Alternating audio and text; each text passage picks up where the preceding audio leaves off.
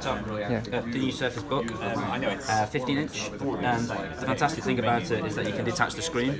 Well, it's, So when you look at this device, it's a um, upgrade over the it looks very similar to the previous model, and it very much works in the same way. So you hold the detach button down here, and that will remove the, the top unit. Book 2, 13 and a half. When you remove the top unit, uh, you'll see you've got the is a redesigned iteration you've got the most powerful tablet ever created in your twice as hand. powerful as a MacBook Pro. So it's the only tablet that has a quad-core processor in it. So you take that anywhere, and it's going to give you the power performance that you want in any situation. Obviously, when you reattach it, you can use the power of a GPU, which is built into the base. And as you can see here, the edge kind of goes higher at this end and lower at the bo- bottom end. So this is um, a redesign that we came up with with the previous version of the Surface Book with performance base. And we've kept that design because it allows more airflow.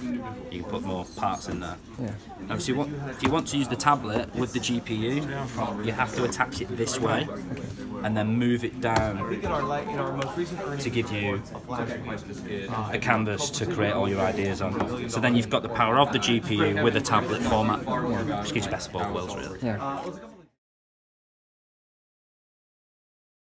Yeah, so the, the connection's the same as it was on the previous one, so with the Surface connector. Um, you've got that here. The great thing about that is, like we've got here, we've got a dock, Surface dock connected to these. So obviously all the the existing um, stuff works with it. So even if you've got other Surface devices, I mean, I've got a ton of these cables, I can still use them. Welcome to the salon. Um, we've got USB Type C, uh, primarily used for output video. So that's pretty much replaced your uh, mini display port, which is on the other versions. Uh, you've got your audio jack, which is up at the top. And then over here we've got two USBs um, with uh, SD card. SD card support. Yeah. So the, the hinge as well has had a redesign as well, Yeah. which you can see mainly on the desk over there. But he'd be the best man to talk about the new hinge mechanic. Okay.